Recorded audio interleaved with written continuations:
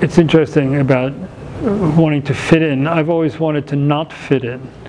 You know, I've never, you know, when, when, for example, when pop art was popular, I was doing like the, probably one could describe it as the extreme opposite.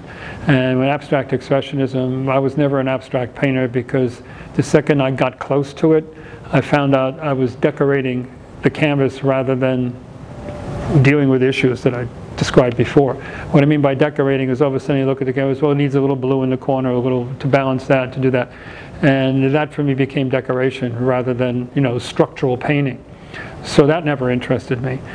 So I've always tried to tread that, you know, that, that line between abstraction and figuration, where aesthetic concerns always dominate so that you know all the rules of sort of imagistic painting are violated as well as you know if there is such a thing as abstract painting meaning keeping things on the picture plane and all that other stuff I was told when I was in graduate school I tried to violate all those rules on purpose so I'm always trying to find my spot and, and I mean my spot as opposed to sort of being part of a movement.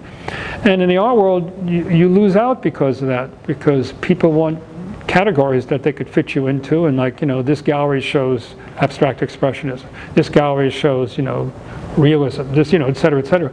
And if you tread that you know line in between all that you often pay a price for it